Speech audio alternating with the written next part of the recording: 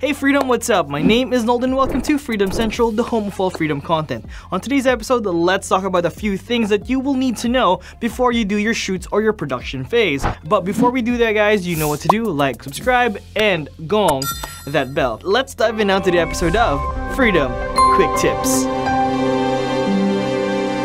Number one thing that you will need to do is plan your video content. When we say planning, you have to have your goal. It is what kind of video you want your viewers to see. Is it a drama video, a comedy skit, or maybe a dialogue heavy video? You have to plan these things ahead of time so that you can also plan ahead with your shots. Now we're talking about shot placements, let's talk about the storyboard. Since we are talking about shots, storyboarding is one of the best ways for you to clearly see what you want to do in the video. Also, it gives you a guide and sequence on what to shoot next. It makes the production process more organized and you can save time and also energy. Another thing that you will need to remember is to plan your equipment.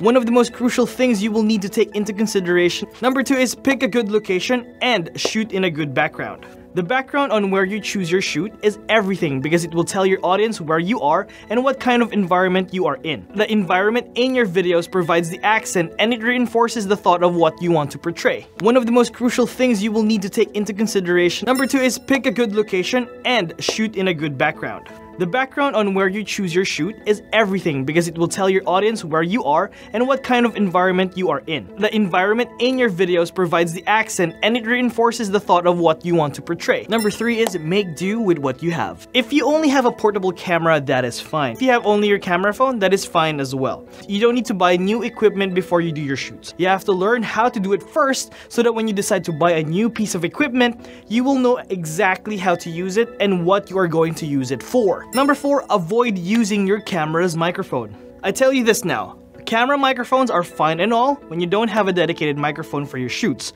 but as soon as you have the funds to buy a good microphone, you will be able to help yourself and your production even more. Sometimes the mic in your camera has static noises, and trust me when I say this, it's so hard to clean out the audio after that. So if you have the funds, dedicate a microphone for your audio.